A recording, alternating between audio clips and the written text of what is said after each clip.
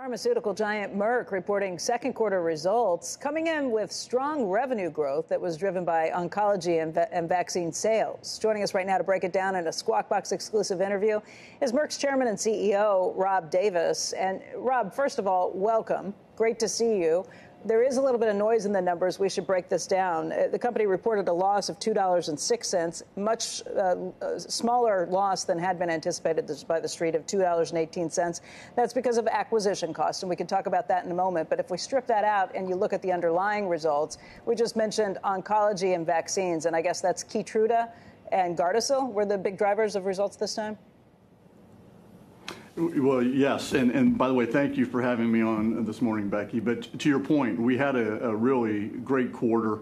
I couldn't be more proud of how the team is continuing to, to execute. And what you really see, as you pointed out, is strong, sustained underlying growth.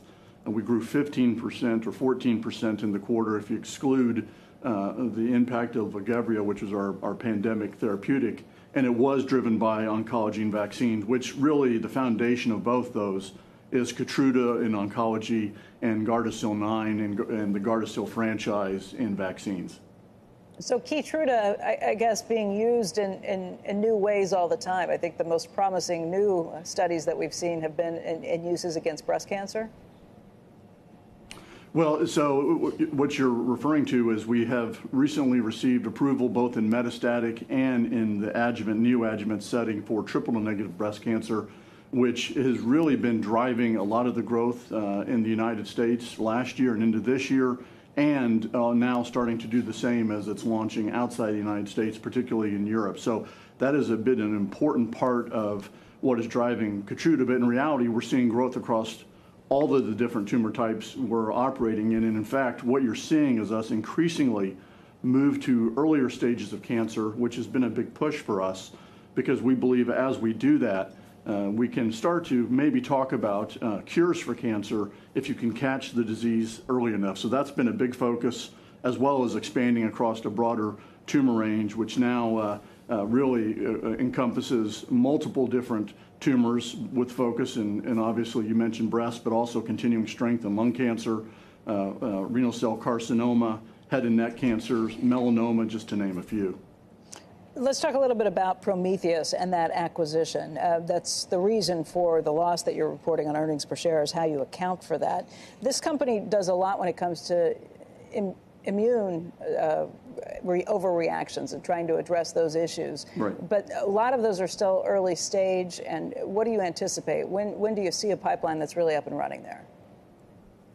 Well, as, as we look at, you know, really the opportunity that Prometheus brings, it is across uh, a, broad swath of, of different autoimmune diseases. Um, but our particular focus to begin with is uh, going to be in ulcerative colitis and then in Crohn's disease. And, you know, we're, we are continuing to progress and actually expect to start new studies uh, in, in ulcerative colitis yet actually this year in the fourth quarter and you're looking probably with benefits coming more as you look to the mid to the you know 25 26 27 timeframe uh, as we think about what that drug can be. The benefit really is going to carry as we move out into the later part of this decade and into the next where we see both ulcerative colitis and crohn's being each multi-billion dollar opportunities but most importantly we can make a real difference for patients because you know these are devastating diseases uh, they're still largely unmet. While there are